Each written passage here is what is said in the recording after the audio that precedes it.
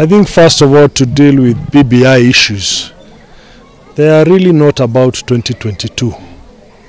They are about making laws that will empower our people, especially in the region, who for many years, because of the high population and misalignment to on resources, were suffering.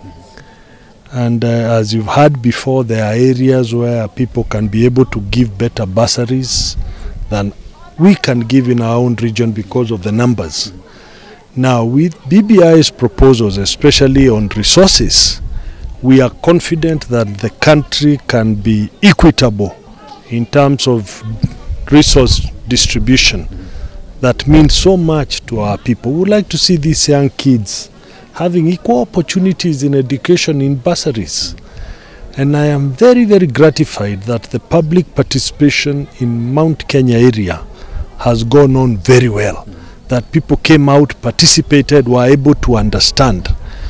I want to appeal to our people in the region.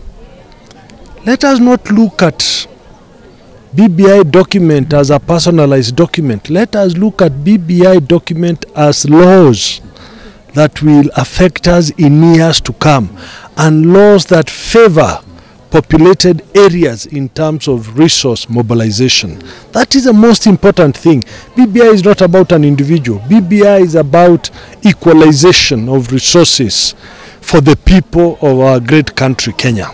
All, I'm gratified that already 11 counties have endorsed the BBI and we expect next week to have more than 20 counties that had public participation this week making a vote, including our own county here of Murang'a, which is voting on Tuesday.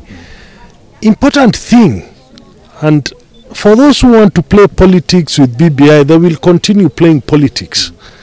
But I think for me, the most important thing is about ensuring that every area in our country that is populated has enough resources distributed. Those who are against BBI, can they pinpoint and say what is in that law that is faulty? You know, we are also going around things. Let somebody come and point out. When you say there are additional positions, Prime Minister, Deputy Prime Minister, they are coming from amongst members of Parliament which means there will be members of parliament. They'll come from there. So I think let us confine ourselves to the gains that we will have at hand and let us deal with 2022 when it comes. In any case, nothing stops this region, Mount Kenya region, from producing a president. Nothing stops at all.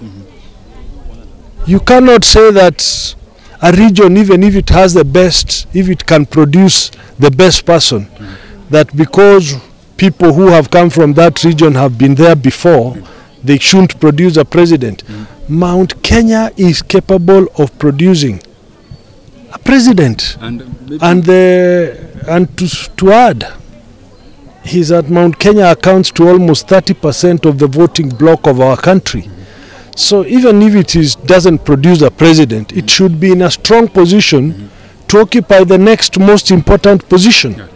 And we must go as a bloc because our unity as a bloc is what will allow us to negotiate better positions in the next formations for 2022. As I've said, this region is capable of producing the next president.